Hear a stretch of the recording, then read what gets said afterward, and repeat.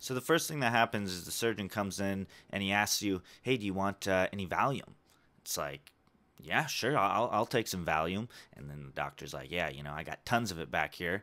So it's like, boom, boom, pop that, good to go. Then they get you on the operating chair and lean you back and drop some eye numbing solution into your eyeballs so you can't feel your eyeballs now. So now they're like, okay, we're going to start the procedure. Are you ready to go? And it's like, yeah, I'm ready to go. Let's do this thing. And so the first thing they do, they actually get a vacuum cleaner out and take the hose part of the vacuum cleaner and suck that right on your eyeball.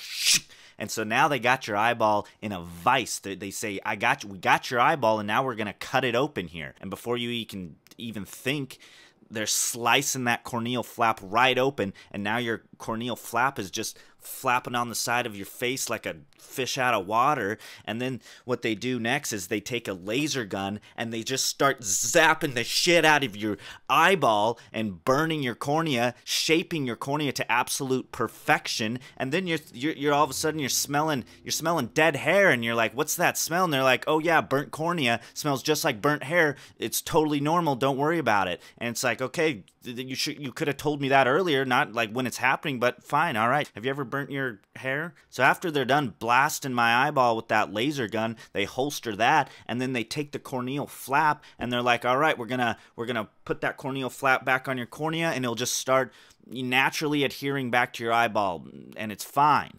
And then they're so that's happening and they're like, "Oh, hang on a second. We're looking at that corneal flap and it looks to be like there's an air bubble between the flap and the cornea there. So we're going to actually need to take that flap back off and realign it like like it's a tempered glass screen protector on an iPhone and you fuck up the first time and then you got to realign it. And then they're like all right that's looking pretty good there. And then yeah you guessed it they do the same goddamn thing to my next eyeball. Long story short I went to the wrong appointment